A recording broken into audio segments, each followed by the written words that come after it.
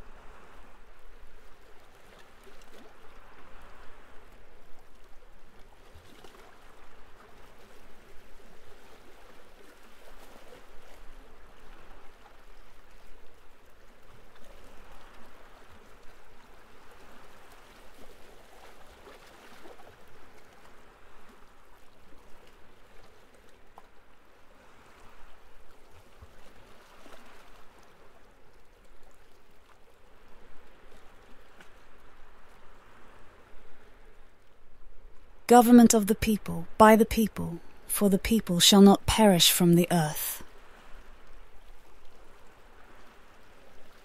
I generated a few images in the tool Krea. I uploaded one of those images here and described what I wanted it to look like. I chose a voice to match the character. If you like, you can play around with the style of the video which I have showed you. I think you get a good selection of voices too. I generated a few images in the tool Krea. I uploaded one of those images here and described what I wanted it to look like. I chose a voice to match the character. If you like, you can play around with the style of the video which I have showed you.